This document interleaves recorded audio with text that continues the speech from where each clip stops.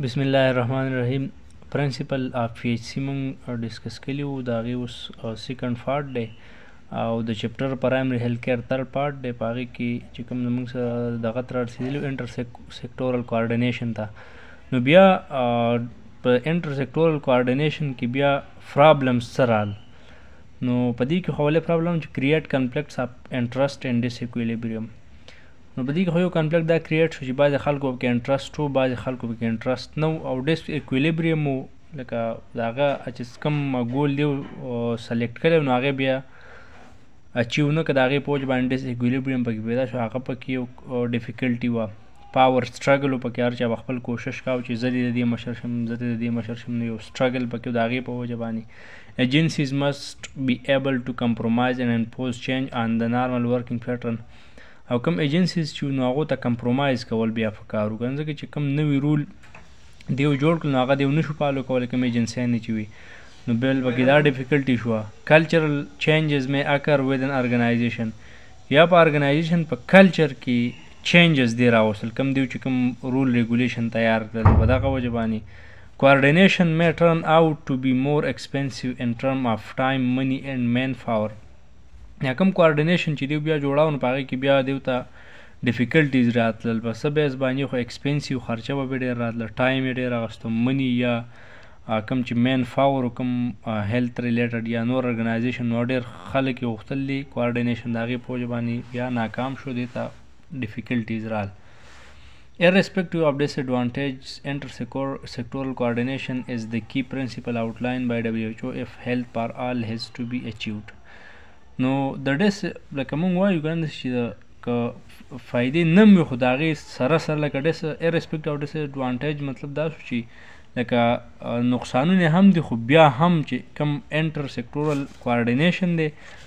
نو ډبلیو ایچ او ویل چې کله مونږ غواړو چې هیلت پارال دا ګول مونږ اچیو کوو نو دا زمونږ لپاره یو ضروري کمپوننټ دی چې مونږ به ټول له یو بل سره یو کیږو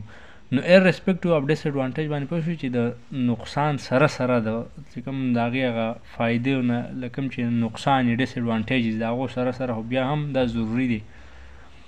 اپروپریټ ټیکنالوجیز دې لپاره خاص ټیکنالوجي پکار دي ټیکنالوجي دیټ از ساينټیفیکلی ساوند چې ساينټیفیکلی ساوند په هغې تجربې شوي اډاپټیبل ټو لوکل نیډز چې کوم ضرورت کوم نیډ یې هغه مطابق هغه سه اډاپټیبل هغه سه موزونی اند اکسپټیبل ټو دوز هو اپلای اټ او هغه چاته اکسپټیبل چې هغه اپلای کوي اند دوز فار هوم اټ از یوزډ اند از مینټین بای د پیپل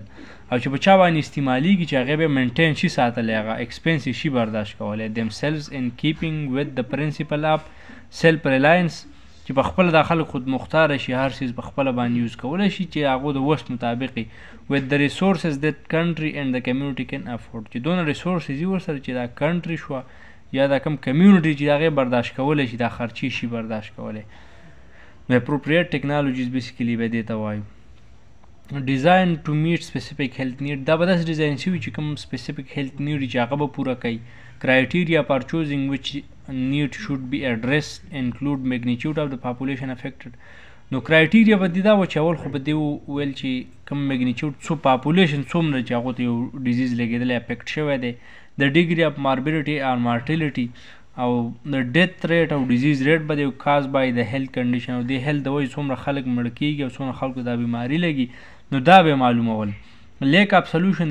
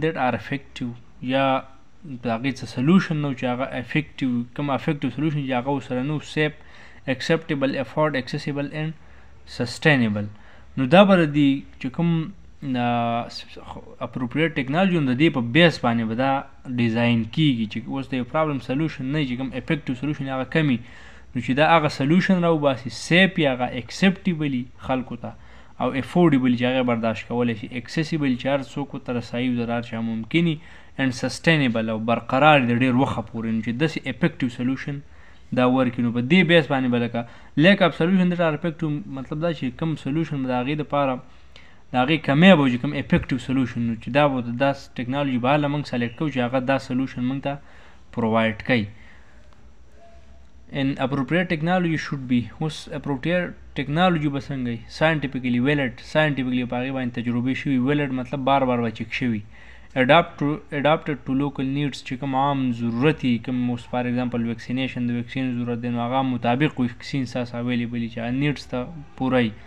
که هغه هر څه دي که ټوټل سیزون راځي که نه لکه بلډ پریشر بي پي کپ شو نور چې کوم د عام سیزون دا ټول په دې کې راځي اکسپټیبل ټو یوزر اینډ ریسیپینټ چې څوک استعمالوي او چې په چا استعمالوي چې هغه ته اکسپټیبل وي چې هسې نه چې هغه نه مني اوس بعضې خلک د هغو کلچرل بلیف داسې چې هغه په حاکمانو یا په دې سیزون یقین کوي نو هغو ته خو دا ټکنالوجي بیا اکسپټیبل نه وي نو ته به داسې کوي چې هغه کمیونټي خو به اول امپلوینس کوي نو چې اول هغو ته هم اکسپټیبل چې دا څوک یوز کوي کوم نرسز دي ډاکټرز دي چې هغو ته اکسپټیبل وي مینټینیبل ود لوکل ریسورسز او چې کوم عام ریسورسز دي د خلکو څومره پیسې چې د هغو سره مینټینیبل چې هغه برقرار به شي ساتلی ټکنالوجي اونلی افیکټیو اپ اکمپنیډ بای نو ټیکنالوژي به کله افیکټیو اثر انداز به چې کله دا څوک استعمالي کمپنیټ بای چې ورسره یې کنه کمپنیټ موږ دا د سې کمپنیټ د دې ورسره چې دا څوک استعمالي خو د کمپنیټ مطلب دا چې د چا په لاس کې استعمالي څوک بای نالجبل اند سکل یوزرز چې د څوک استعمالي هغه نالج ورسې او سکلز ورسې کلیر پریکټس ګایډلاین اند پالیسیز د خپل ګایډلاینز او دغه پالیسي نه چې باغ باندې کلیر کټ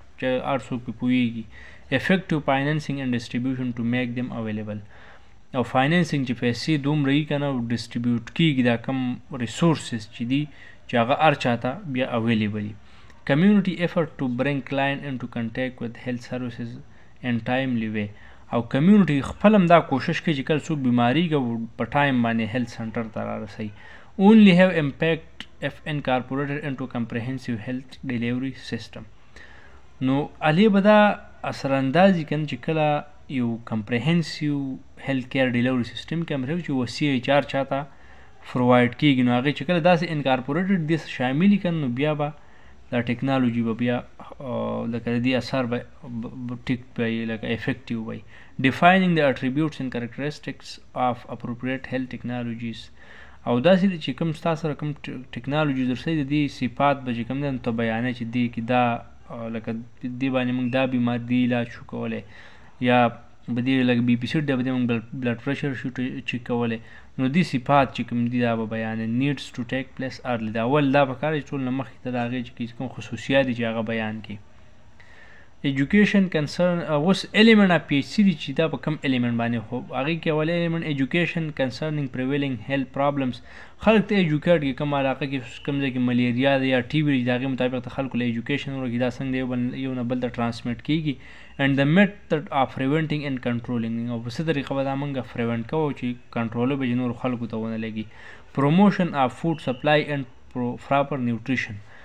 په نیوټریشن باندې به فوکس کوي چې هر چا ته ښه خوراک میلاویږي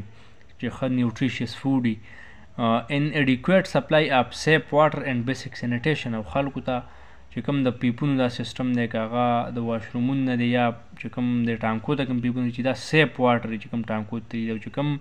لکه سینیټیشن کوم سینیټري سیستم دی چې دا د سیف چې کوم واټر دی ډرینکینګ واټر چې دا غون دا جدای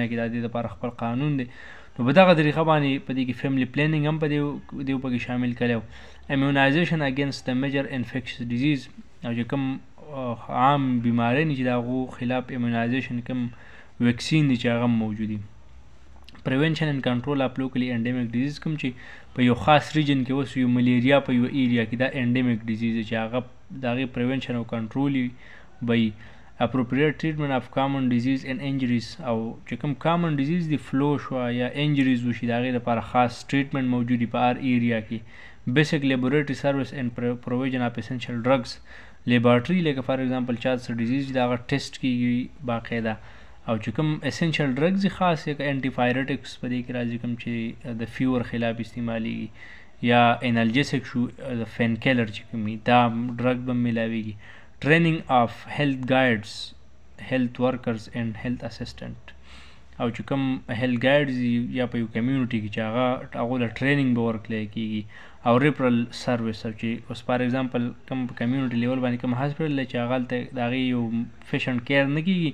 چې هغه بل ایریا ته ریپر کولی شي دا د الیمنټو د پرایمري هیلت کیر لکه ایجوکیشن واټر الریډي موږ ډیسکس کړل چې سیف واټر بای نیوټریشس فوډ بای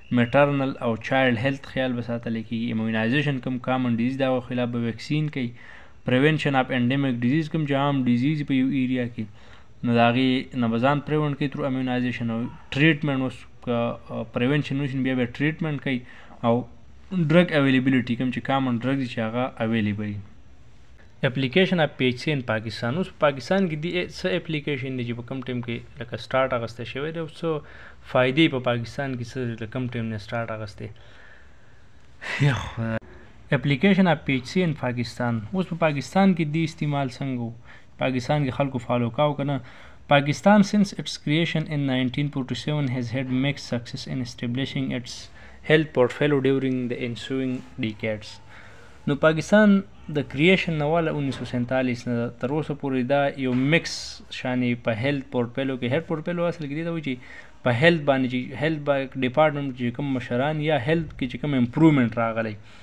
نو انسوین ډیکټس کوم چې را تیر شوی لکه ډیکټ اصل کې 10 ایئر ته وایي تقریبا پاکستان 7 ډیکټ یوز شوی په دې کې انسوین تعاقب ته وایي چې په دې کې د هیلت کې امپروومنټ تعقب کوي خو مکس لکه څه ټیم کې پکې امپروومنټ راشي په بعضې ټیم کې پکې چې کومې هغه په سټاپ سټاپ شي لکه امپروومنټ پکې نه کېږي سیګنیفیشن کرسټ اینډ ټرپس کم کرسټ ټرپ کله پکې ترقي راځي او کله سټاپ کېږي نو کم چې په ویو کې لکه بعضې لو لیول ته بعضې وخت راشي بعضې وخت کې های لیول ته راشي نو کرس انټرپ دیته وي هاو بین ایکسپیرینس کریکټرایز بای انیکویټی دا خو داسې چې پاکستان کې خو انیکویټی ده مالدار خلکو ته خار سیز ملاویږي غریبانو ته نه ملاویږي اربن رورل اوس اربن ایریاز کې هر فیسیلیټیز او رورل چې کوم علاقې دي کوم غریزي علاقې دلته نه ملاویږي ډیسپیریټیز شو که په هغې کې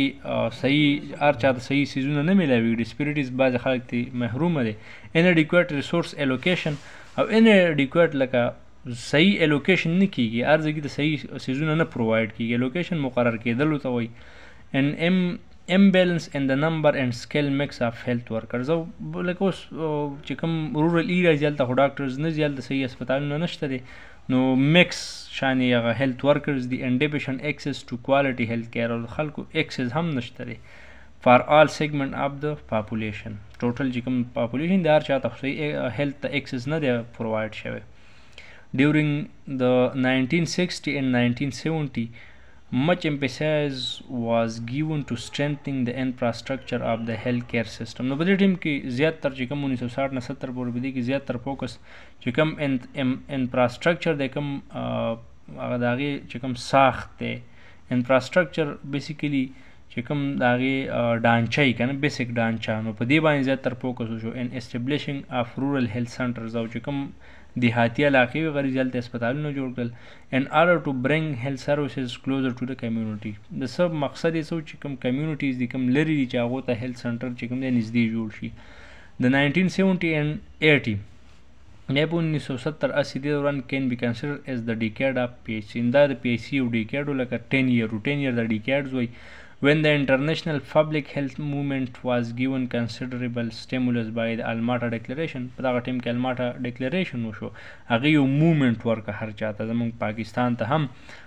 ان پرایمري هیلت کیر ان سپتمبر ناینټین سیونټي ایټ انیس سوه اټهتر کي چي معلومات او ډیکلریشن شو نو په دې باندي یو مومنټ هر ملک ته ملاو شو نو پاکستان هم په دې کي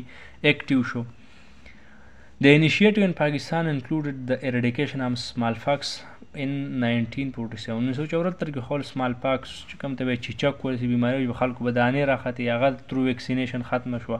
and the national expanded program of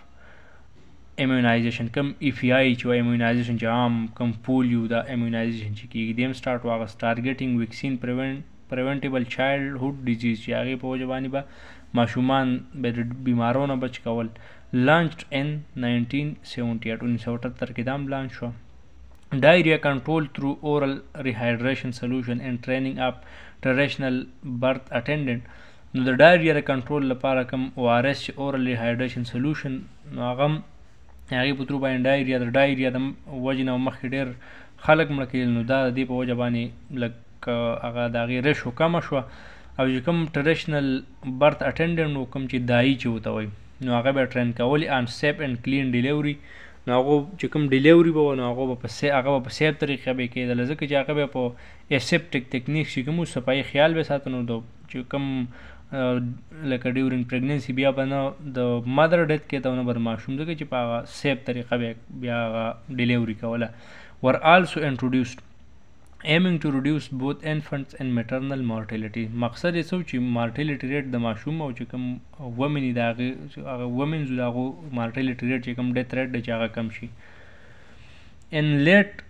1993 کې د لیډي هیلت ورکر پروګرام کوم چې ایل ایچ وي د دام سټارټ شو واز انسټیګیټډ ټو انشور هوم ډیلیوري اپ سچ هیلت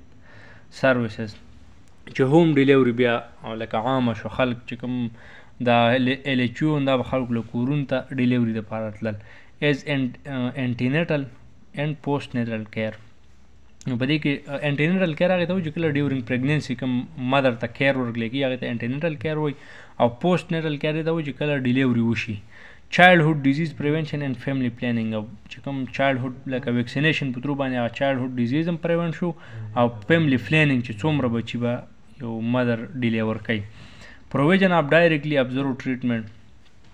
شارټ کورس کوم ډي او ټي اس